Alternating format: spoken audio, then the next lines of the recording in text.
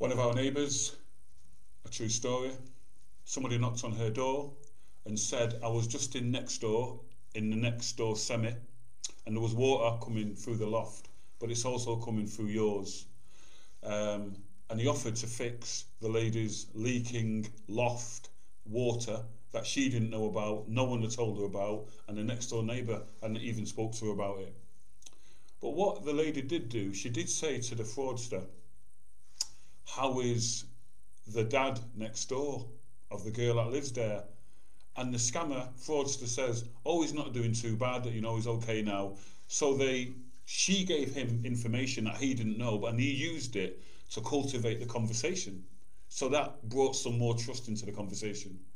Anyway, the lady said she hasn't got any money at the moment, um, but the fraudster, the scammer, who pretended to be a builder, said, I'll take you to the bank and you can get some money out.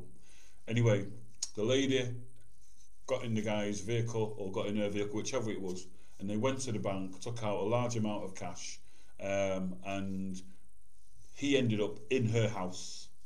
And she handed over money to this guy, and she'd never seen him again when he left. We teach in this game to spot and deal with those people when they knock on your door. We teach in this game to have that security around your property and how to deal with these people.